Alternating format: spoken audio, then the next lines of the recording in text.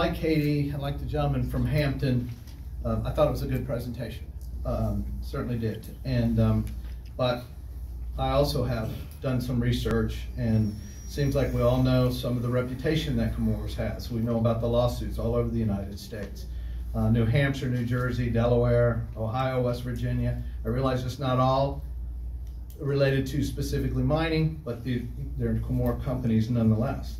Uh, in North Carolina, they were fined $13 million in order to provide and install and maintain uh, special drinking water systems for well owners. And that was only part of the penalties that they had.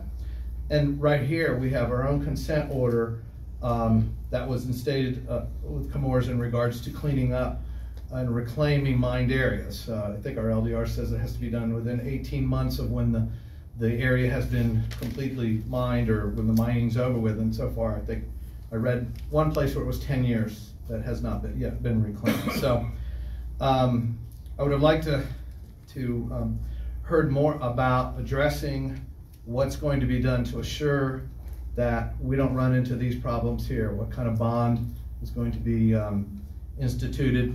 And, you know, my preference would be that we don't allow the mining. Um, I realize they've been here a long time. There's some good Bradford County citizens here and um, that work for Chemours. I understand that. Um, but I just don't want to have another situation where, you know, all of a sudden we're talking about hindsight and, um, you know, what, what we could have done or should have done. So thank you. That's my comments.